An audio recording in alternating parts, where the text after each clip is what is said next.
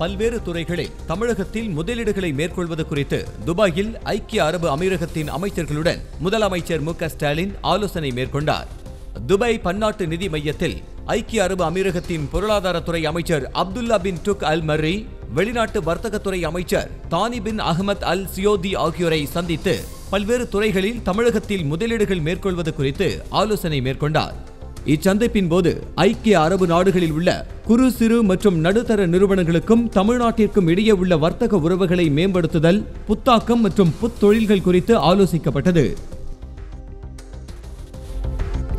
வரும் ஏப்ரல் ஆறாம் தேதி முதல் தமிழக சட்டப்பேரவையில் கூட்டத்தொடர் தொடங்கி நடைபெறும் என சபாநாயகர் அப்பாவு அறிவித்துள்ளார்.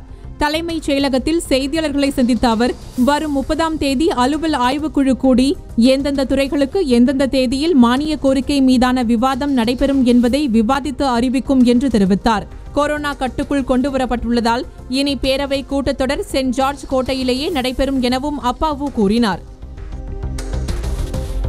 தமிழக முதலமைச்சர் மு க ஸ்டாலினின் துபாய் பயணத்தை தமிழக பாஜக தலைவர் அண்ணாமலை கடுமையாக விமர்சித்துள்ளார். தமிழக அரசு தாக்கல் செய்த பட்ஜெட் நான்கு திமுகவினருக்கான பட்ஜெட் என்றும் அவர் தெரிவித்துள்ளார். தமிழக அரசின் பட்ஜெட்டை கண்டித்து சென்னை வள்ளுவர் கோட்டத்தில் பாஜக சார்பில் ஆர்ப்பாட்டம் நடைபெற்றது. ஆர்ப்பாட்டத்தில் பேசிய அக்கட்சியின் மாநில தலைவர் அண்ணாமலை தமிழக பட்ஜெட்டில் பள்ளி கல்வித்துறைக்கு போதுமான நிதி ஒதுக்கவில்லை என குற்றம் சாட்டினார். இந்த பட்ஜெட் அரசு பள்ளிகளை மூடுவதற்கான பட்ஜெட் என்றும் தற்போது ஒதுக்கப்பட்டுள்ள நிதியால் அரசு பள்ளிகளை பராமரிக்க முடியாது என்றும் கூறியுள்ளார். தமிழ்நாடு புதுச்சேரியில் வெப்பச்சலனம் காரணமாக இடியுடன் மழை பெய்யும் என சென்னை வானிலை ஆய்வு மையம் தெரிவித்துள்ளது. இதுகுறித்து வெளியிடப்பட்டுள்ள அறிவிப்பில் தமிழ்நாடு மற்றும் குமரி கடல் பகுதியின் மேல் வளிமண்டல கீழடுக்கு சுழற்சி நிலவி வருவதாக தெரிவிக்கப்பட்டுள்ளது. மேலும் வெப்பச்சலனம் காரணமாக தமிழ்நாடு புதுச்சேரி காரைக்கால் பகுதிகளில் ஓரிரு இடங்களில் இடிமின்னலுடன் மிதமான மழை பெய்யும் என்றும் கூறப்பட்டுள்ளது. தென் மாவட்டங்கள் மற்றும் நீலகிரி கோயம்புத்தூர் திருப்பூர் மாவட்டங்களில் ஓரிரு இடங்களில் இடிமின்னலுடன் கனமழை பெய்ய வாய்ப்புள்ளதாகவும் தெரிவிக்கப்பட்டுள்ளது. அரசு பேருந்துகள் நிற்கும் உணவகங்களில் சைவ உணவு மட்டும்தான் தயார் செய்ய வேண்டும் என்ற உத்தரவிற்கு கடும் எதிர்ப்பு கிளம்பியதை அடுத்து அந்த நிபந்தனையை தமிழக அரசு நீக்கியுள்ளது. தொலைதூரம் செல்லும் அரசு பேருந்துகள் தங்களது உணவகத்தில் நிறுத்தம் செய்ய ஒரு வருடத்திற்கு உரிமம் வழங்குவதற்கான நிபந்தனைகளை தமிழக அரசு நேற்று அறிவித்தது. அதில் அரசு பேருந்துகள் நிற்கும் உணவகங்களில் சைவ உணவு மட்டும்தான் தயார் செய்ய வேண்டும் என கூறப்பட்டிருந்தது. தமிழக அரசின் போக்குவரத்து கழக முடிவுக்கு பல தரப்பிலிருந்தும் எதிர்ப்புகள் கிளம்பின.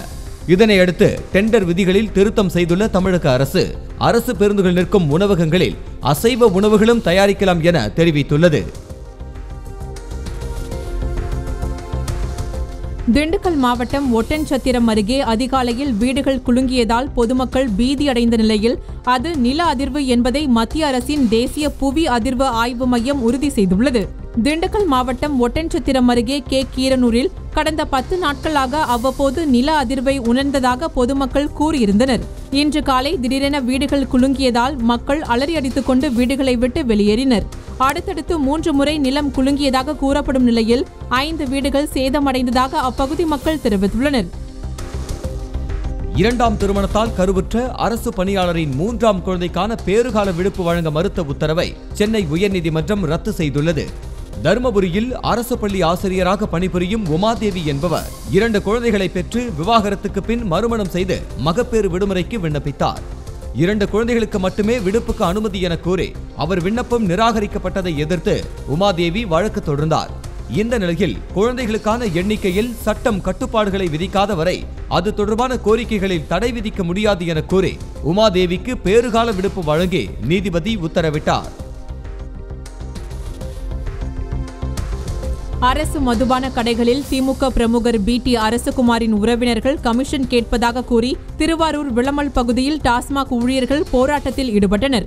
மன்னார்குடி திருத்துறைப்பூண்டி உள்ளிட்ட பகுதிகளில் உள்ள டாஸ்மாக் கடைகளில் திமுக பிரமுகர் பி டி அரசகுமாரின் உறவினர்கள் வருமானத்தில் ஒரு சதவீதம் கமிஷன் கேட்பதாக புகார் எழுந்துள்ளது. இது தொடர்பாக டாஸ்மாக் மாநில வாணிப கழக அலுவலகம் முன்பு போராட்டத்தில் ஈடுபட்ட டாஸ்மாக் ஊழியர்கள் பேரணியாக சென்று மேலாளரிடம் புகார் மனு அளித்தனர்.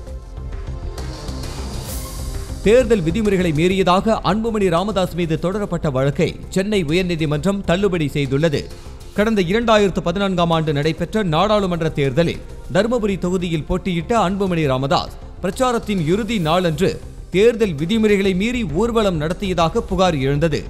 அன்புமணி உள்ளிட்ட பாமக நிர்வாகிகள் ஆறு பேர் மீது போலீசார் வழக்கு பதிவு செய்தனர்.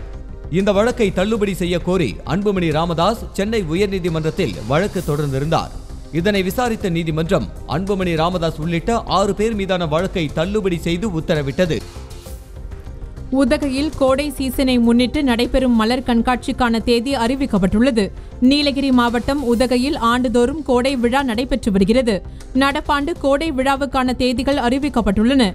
அதன்படி விழாவின் தொடக்க நிகழ்ச்சியான பதினோராவது காய்கறி கண்காட்சி மே ஏழு எட்டாம் தேதிகளில் நடைபெறும் என அறிவிக்கப்பட்டுள்ளது. அதனைத் தொடர்ந்து பதினான்கு பதினைந்தாம் தேதிகளில் ரோஜா கண்காட்சி நடைபெறுகிறது. கோடை விழாவின் முக்கிய நிகழ்வாக கருதப்படும் மலர் கண்காட்சி இருபதாம் தேதி முதல் இருபத்தி நான்காம் தேதி வரை நடைபெறும் என அறிவிக்கப்பட்டுள்ளது.